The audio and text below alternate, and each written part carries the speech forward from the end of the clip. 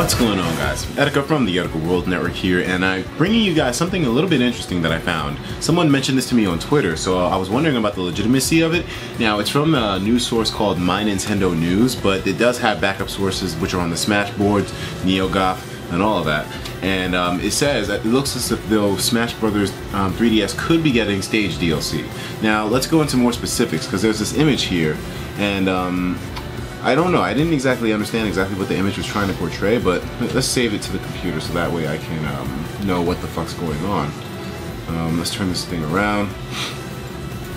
Okay, so as of looking at the image right here, you don't really see anything too strange, except for maybe this off thing, you know? So what does this mean in particular? Let's take a look at the article. So a user of the Smashboards has discovered that additional stage that the wait a minute what a user of the Smashboards has discovered so I'm guessing that's going to be a source right there let's go to that that additional stage downloadable content could be coming to the 3DS version of Super Smash Bros.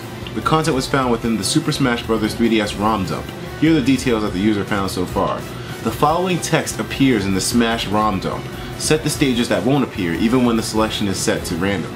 All off, all on, turn all stages off, Make all stages available when using random stage selection. See stages you have downloaded. See all regular stages. Select off to exclude the stage from the random stage selection. And select on to include the stage in random stage selection.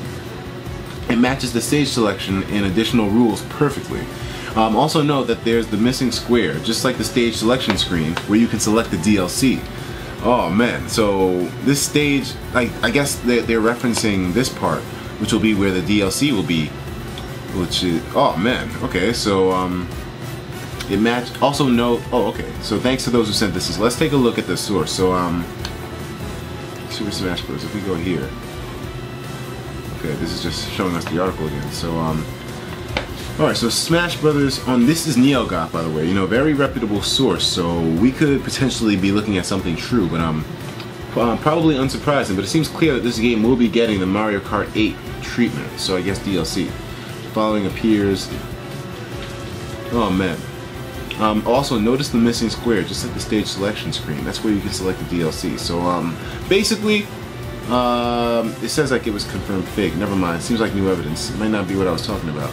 Never mind. Um, yeah, the legitimacy is definitely a concern, but um, so far, this seems pretty damn cool. I mean, I don't know. It's not on Pastebin anymore for some reason. Hmm. I wish we had more information about this. But, um, alright, so this means that there could very well be stage DLC, which is no surprise to be honest, because after Mario Kart 8, how are they not going to include something like that with Smash Brothers? So I thought it was probably going to be typical. I'm just concerned about whether this will be the case for things like characters, you know? Most likely not like I said, you know, I'm kind of skeptical. I mean, excuse me, I'm kind of um, skeptical, not spectacle, skeptical of new inclusions of characters because it just doesn't seem like the Sakurai way. Although this man is totally unpredictable, so I could be wrong off my ass. One thing that I'm curious about is the fact that on October 3rd, they're going to be revealing a new character. If we go to the Smash Bros. Nintendo website,